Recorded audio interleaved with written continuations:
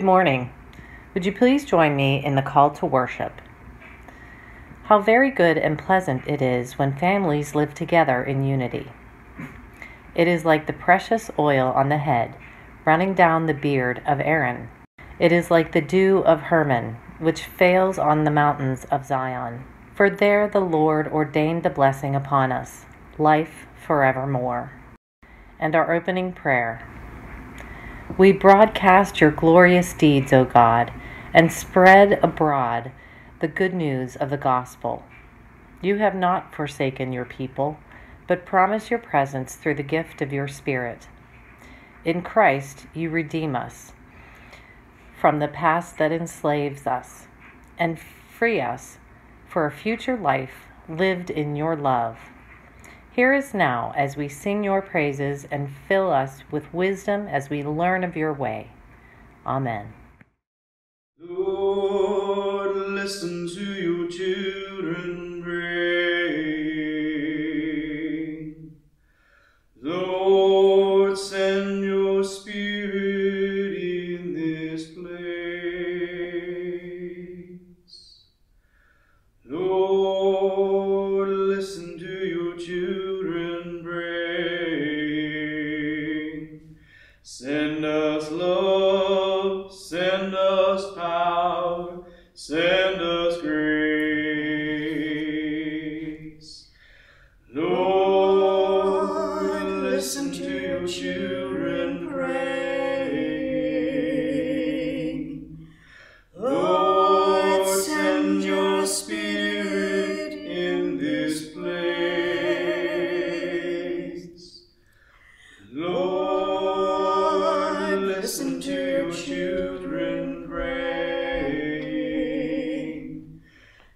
Send us love, send us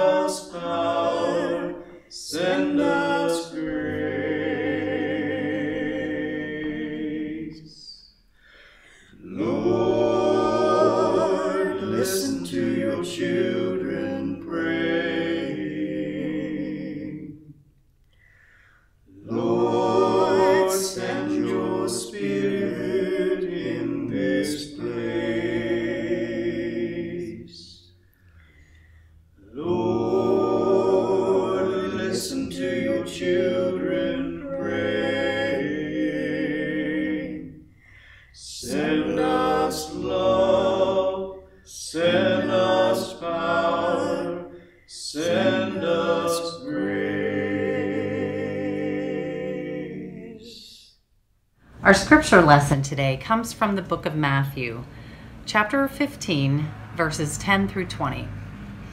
When he had called the multitude to himself, he said to them, Hear and understand. Not what goes into the mouth defiles a man, but what comes out of the mouth that defiles a man. Then his disciples came and said to him, Do you know that the Pharisees were offended when they heard this saying? But he answered and said, Every plant which my heavenly Father has not planted will be uprooted.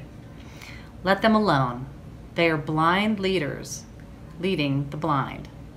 And if the blind leads the blind, both will fall in a ditch. Then Peter answered and said to him, Explain this parable to us. So Jesus said, Are you also still without understanding? Do you not yet understand that whatever enters the mouth goes into the stomach and is eliminated? But those things which proceed out of the mouth come from the heart, and they defile a man. For out of the heart proceed evil thoughts, murders, adulteries, fornications, thefts, false witness, blasphemies. These are the things that defile a man. But to eat with unwashed hands does not defile a man. The word of God for the people of God. Thanks be to God.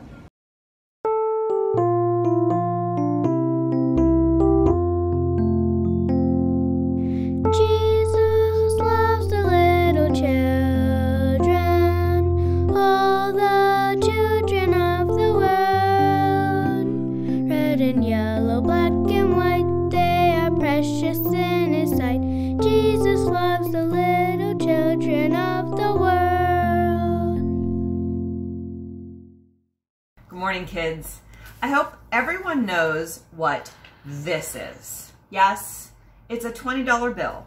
And I'll bet each and every one of you would like to have this in your pocket to spend when you want. But how about now?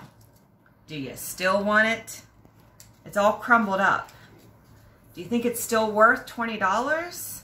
Yes, it's still worth $20. This crumpled up $20 bill is like our sins. God created us in his image, but sin caused us to be damaged. And God's image of us became distorted. We become crumbled like this money, although sin made us no longer look like God and caused us to be separated from God. It never changed our worth or value to him. In Romans 5, verse 8, it says, God demonstrates his own love for us in this. While we were sinners, Christ died for us. Have you ever found money on the street? I actually found this dirty, dingy penny in the parking lot, and it was probably even run over. But, as we all know, it's still worth one cent. God doesn't throw us away because we are no longer perfect like him. We matter so much to him, they sent his son to die for us for our sins. So if you think you've messed up pretty bad, that you think God will never forgive you, remember this crumpled up $20 bill. It didn't lose its value or worth, and neither will you to God. Let us pray. Dear Lord, please watch over these children this week. Help them to remember that they are worthy of God's love, no matter how crumpled they get. In Jesus' name we pray. Amen.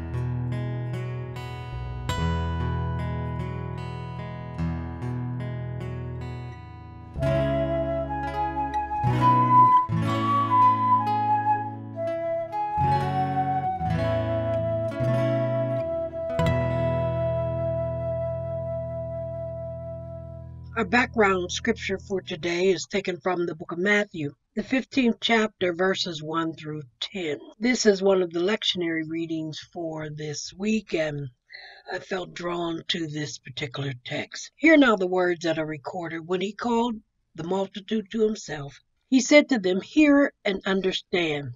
Not what goes into the mouth defiles a man, but what comes out of the mouth defiles a man. Then the disciples then said to him, do you know that the Pharisees were offended when they heard this saying? Said, Every plant which my heavenly Father hath planted will be uprooted. Let them alone. Let the blind leaders lead the blind, and if the blind leads the blind, both will fall in the ditch. And Peter answered and said to him, Explain this parable to us. So Jesus said, Are you still without understanding? Do you yet understand whatever enters the mouth goes into the stomach and is eliminated? But those things which proceed out of the mouth come from the heart, and they defile a man. For out of the heart proceedeth evil thoughts, murders, adulteries, fornications, theft, false witnesses, blasphemings. These are the things which defile a man. But to eat with and wash hands does not defile a man. These are the words that form the basis of our message today. And I want to share with you from the subject what is in you will come out. What is in you will come out. Let's pray. God, we do thank you again for another opportunity and privilege to be gathered around your word. We thank you that it is your word that brings life and hope and help. It is your word that where we understand you better and see you clear. And so to God, speak to us today from your word. God, consecrate me now to thy spirit, Lord, with thy power of grace divine. Let my soul look up with a steadfast hope, and my will be lost in thine. God, draw me near, near, God, to thee, to the cross where thou hast died. Draw me near, near, God, to thee, to thy precious bleeding side. And even again, God, give me the gift of preaching. In Jesus' name I pray. Amen. Much attention has been given to the outward appearance of individuals. We go through a lot of trouble each day to make sure that our outward appearance is intact. When we got up this morning and got ready for the day, we went through a series of chains of events just to get ready to be presentable you probably took a shower, washed your hair, dried your hair, styled your hair, put on your makeup and clothes, got your clothes ready, put on your clothes, looked in the mirror and made sure that your clothes were correct and that everything was ready for your public presentation. Being ready to meet the public in whatever form that that public appearance will take place. As we should. We should be mindful how we look how we look on the outside is the first thing that people see and tells a story about us. Steve Jobs, who is one of the founders of the Apple and iPhone and iMac and Mac computer uh, products, is known for wearing his same color black turtleneck every day for years, and it has become his signature look. Though he was a genius in computers, he was a, an ultimate failure in his wardrobe and attire. I also once read a story about Beethoven, the great musician, the composer. I must admit that he is a very interesting character. One thing about his story, however, is when he would eat his meals, when he sat down for a meal. While he was eating, he would always drip some of his food onto his necktie. If he was having soup, he'd drizzle uh, soup down his necktie. If he was, whatever was part of his meal, some portion of it would end up on his necktie. He would, but he would rewear this necktie over and over again without cleaning it. As a result, his necktie had a history of meal, meal, meals and you could know what his history of, of consumption was by just looking at his tie. Imagine it was a very dirty, unclean uh, presentation. And so, though he was a genius and made great contributions to music, he failed in his public appearance. If you ever seen a picture of him, his hair was always awry. In our in our text, the spirit of uh, Pharisaic Judaism intended these external rituals to keep the inward heart focused on the heart of the Torah, mindful of one's duties to God and neighbor while immersed in the details of daily life. Jesus knew that even the best intentions, internal observances can become corrupted. They can become substitutes for devotion to God while our hearts are occupied with thoughts that promote our agendas and may be contrary to God's agenda for us. Because after all, it's not about us, it's all about God. Matthew 5 8, which is not part of our text, uh, tells us it is impossible to honor God, God with our lips while our hearts are far removed. Our mouths are built to praise God. In other words, what comes out of our hearts, the words that um, come out of our heart, or it really intended, our mouths are built to praise God. So Psalms 19 and 14 says, Let the words of my mouth and the meditation of my heart be acceptable in your sight, O Lord, my strength and redeemer. At the heart of the scripture passage lies a proverb. Not what goes into the mouth that defiles a man, but what comes out. Jesus often coined short sayings or proverbs that shed light on specific situations. Here, Jesus provides a short story. The Pharisees criticizing his disciples for not following ritual pre meal hand washing. Implied is a broader criticism on their part against Jesus and his disciples for not observing the rules for which one could and could not do on the Sabbath for and for associating themselves with those who were viewed unclean. Here the Pharisees intended to keep their external rituals. They gave a lot of attention and emphasis on the outward expression. The Pharisaic Judaism intended these extreme rituals to keep the inward heart focused on the heart of the Torah or the Old Testament, mindfulness of one's duty to God and neighbor while immersed in the details of daily life.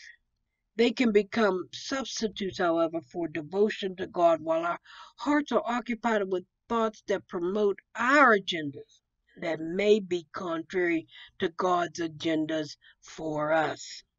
This, say, this saying of Jesus about what defiles is a paradoxical proverb meant to undercut the way we habitually look at things. Now, conventional wisdom, whether biblical or contemporary, usually pairs good behavior with good results. A penny saved is a penny earned. Conventional wisdom also usually pairs foolish behavior with ruinous results, as in the contemporary proverb coined by my computer operators. Garbage in, garbage out.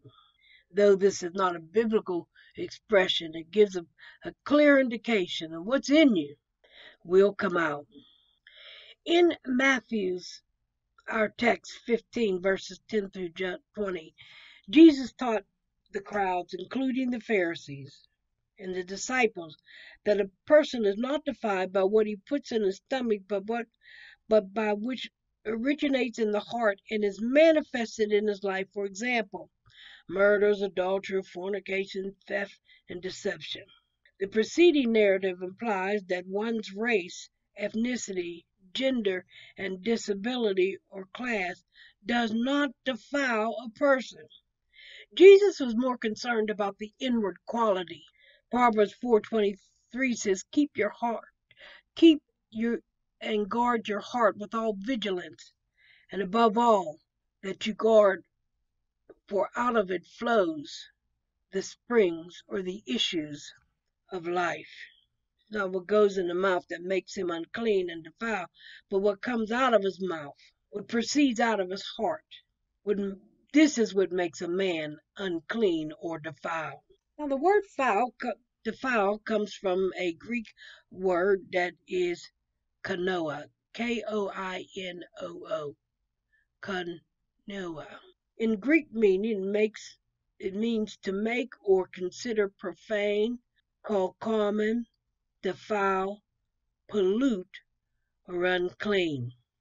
In David's prayer of repentance for his sins with Bathsheba, he cried out to God to change him from within. In verse 7 and in verse 10, we hear words that give us an indication of what it is that David wanted the Lord to do for him. He says in verse number seven, Purge me with hyssop, and I shall be clean. Wash me, and I shall be whiter than snow. Verse number 10 says, And create in me a clean heart, O God, and renew a right spirit within me. In Psalms 51, David traces his backsliding to his outward rituals and of lack of inward sincerity. He realizes that God desires truth in the inner, inner part, truth in his heart, and not just lip service. God is always trying to make us better through our though our outward appearance is important, the inside of us is more important because it's what in it, what's in us that will come out. Our hearts must be pure towards God because it's what's in us. Is what in what is in our heart is that is which is going to eventually come out. Are we so blind by our church buildings and rituals that we don't see God and we don't see what really matters? What matters to God is what is in the inward parts that we be made more into the image of God. What matters to God is the inward parts that we are to be made better, not, not necessarily from without, but from within. Because within us will eventually find a way to come out. What matters to God is that the inward part reflects the image of God. And when the inside reflects the image of God, what will come out is the image of God what is in in us will come out in various ways. It will come out in our conversation. It'll come out in what we say. It'll come out in what we do. It'll come out in our actions. What is in us will eventually come out. And sometime I've been around long enough to know that sometime it comes out when we don't want it to come out. Sometimes things spill out of our mouth that we didn't want to come out. But those things that spilled out of our mouth expose the condition of our hearts. The book of James describes the human tongue. James chapter 3, verse number 5 through 8 says, Even the tongue is a little member and boasts of great things. See how great a force a little fire kindles. And the tongue is a fire and a world of iniquity. The tongue is so set among our members that it defiles the whole body and sets on fire the course of nature. It is set on fire and by and fire by hell. For every kind of beast and bird and reptile and creature of the sea is tame, and has been tamed, but no man can tame the tongue. It is unruly and evil and full of poison. Most of us have been to the doctor, and in most of our doctor's appointment, one of the things that the doctor stresses is our diet, what we eat, how we eat, how much of what we eat. Tell us to stay away from salt and sugar and carbs, and the list seems to go on in every doctor appointment. Some have, some of us have adjusted our diets, and some of us still have to have work that is done. It's always good to adjust our diets. But if we're going to please God, not only must we care about our physical, but we must care and make some adjustments to our internal. This message today doesn't emphasize the physical health, but rather the spiritual health, the condition of our heart, the inward part, the area in which concerns Jesus. As we read our text, it's obvious that the scribes and the Pharisees were more concerned with the disciples' hands than they were with their hearts. This scripture supports the Lord's position, for when God was selected a man to replace Israel's first king, and in 1 Samuel uh, 16, chapter 16, verse number 7, it says, But the Lord said unto Samuel, Look not on his outward countenance, or on the height of his stature, because I have refused him. For the Lord seeth not as man seeth. For man look on the outward appearance, but the Lord looks in the heart. When he called the multitude together in our text, he said to them, Hear and understand. Not what goes into the mouth defiles the man, but what comes out of the mouth defiles the man. Church, we always have work to be done. There's always work that we need to do on us. For what is in us will eventually come out.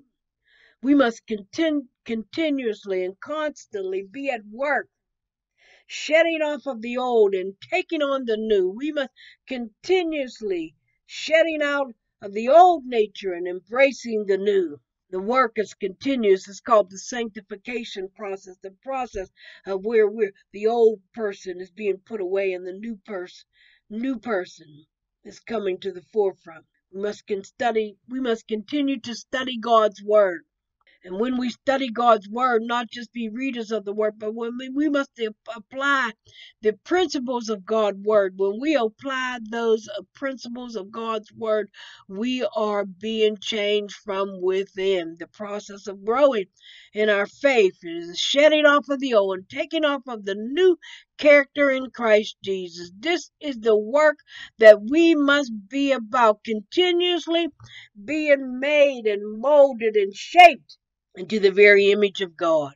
We don't work on our insides if we don't do the work. If we don't put in the labor and the time that we can be shaped into God's image, shedding off of the old and taking on the new. If we do not do this work, what is in us will come out. And if we don't do this work, what's in us will come out. We won't like it. So, as people of God, let us always be mindful of growing in our faith walking in God's word, shedding off of the old and taking on of the new, being molded and made it more into the image of Christ. We have work to do. And let us be about the work of God. Let us be about changing from the inside, allowing God to work on us from the inside, allowing God to shape us from the inside, allowing God to make us from the inside, allowing God to mold us from the inside, allowing God to make us into the very image of Jesus. So when we, our insides reflect the image of God, then what comes out is the image of God. In Jesus' name is my prayer. Amen. Our Father, who art in heaven, hallowed be thy name. Thy kingdom come, thy will be done, on earth as it is in heaven. Give us this day our daily bread, and forgive us our trespasses, as we forgive those who trespass against us. And lead us not into temptation, but deliver us from evil. For thine is the kingdom, and the power, and the glory forever. Amen.